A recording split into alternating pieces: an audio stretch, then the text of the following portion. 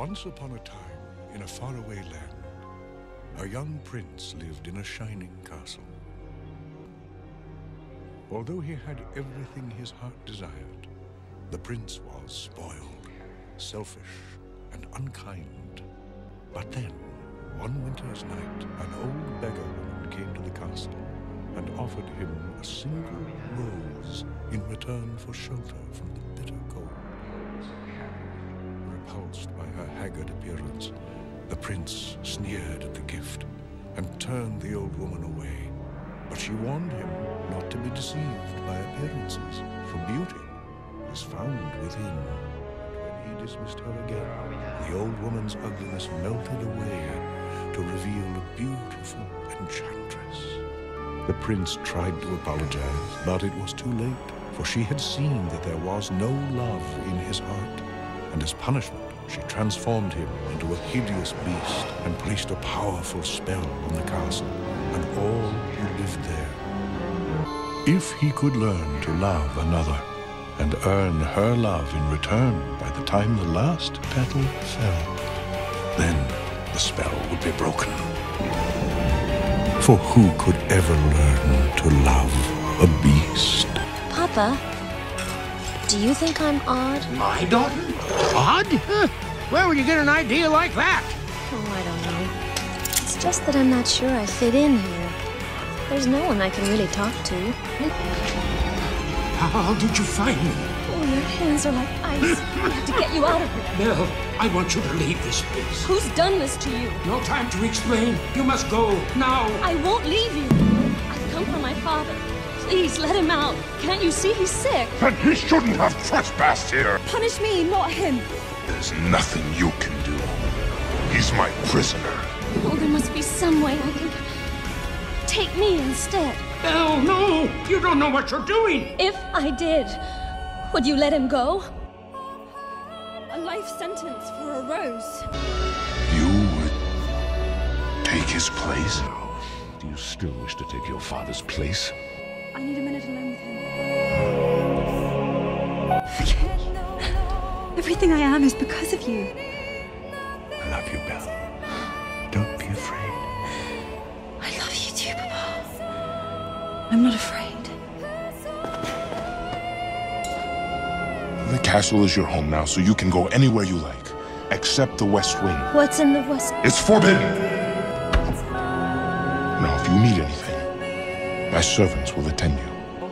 But I've lost my father, my dreams, everything. Cheer up, child. It'll turn out all right in the end. You'll see. You see that? She's the one! The girl we have been waiting for! She has come to break the spell! Wait a minute! Show me the girl!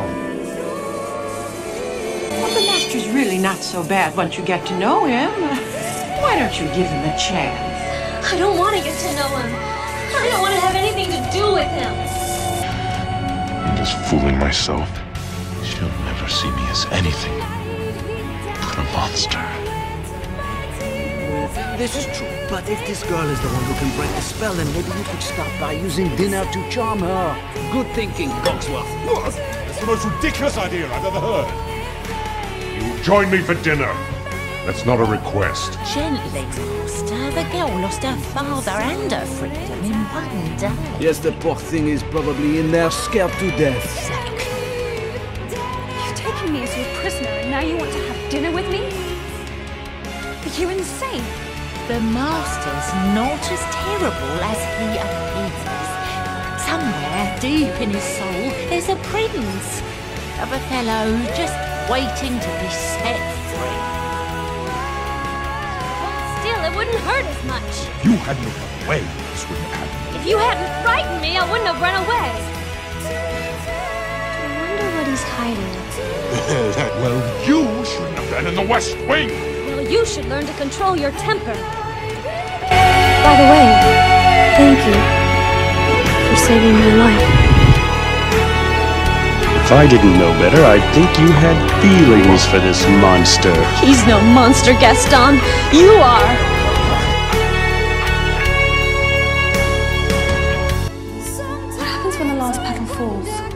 The master remains a beast forever, and we become Antiques. knickknacks. Lightly used houseware. Rubbish. I want to help you. There must be some way to break the curse. Good. So you fall in love with her, she falls in love with you, and poof, the spell is broken. We'll be human again by midnight. Oh, it's not that easy, Lumiere. These things take time. But the rose has already begun to wilt. What? How could you do that? I had to, Yes, but. But. but why? because I love her. But why? Because he loves her. Bella? Are you happy here with me?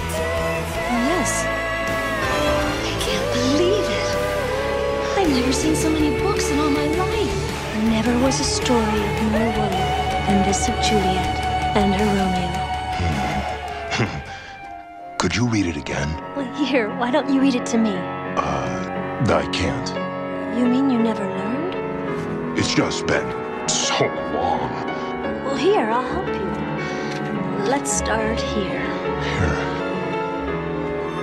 I've never felt this way about anyone. I want to do something for her. You, you like it? It's wonderful. Then it's yours. Oh, Thank you so much. Actually, Romeo and Juliet's my favourite play. Is that not a surprise? Somewhere in Greek. Are you making jokes now? It's foolish, I suppose, for a creature like me to hope that earn your affection. Can anybody be happy if they aren't free? My father taught me to dance. I used to step on his toes a lot. If only I could see my father again. Just for a moment. I miss him so much. This mirror will show you anything. Anything you wish to see. I'd like to see my father. Please. Papa! What are they doing to him? He, he's in trouble. Then you you must go to him. What did you say? I release you. You're no longer my prisoner. You mean I'm free?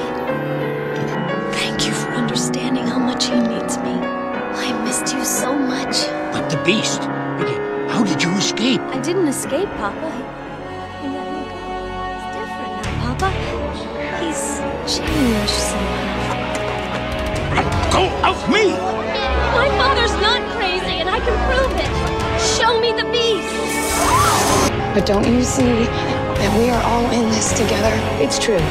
Supergirl has not been located yet, but her spirit stays with us. Her insistence on seeing the best in people, a call for us to heed our better angels. There's about a dozen ways that I could stop you right now. But I don't think I have to. Is it dangerous? Oh, no, no, he'd never hurt anyone. Please, I, I know he looks vicious, but he's really kind and gentle.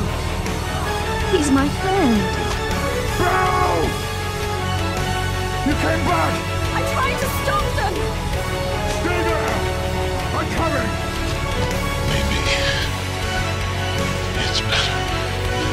Way. Don't talk like that. You'll be all right.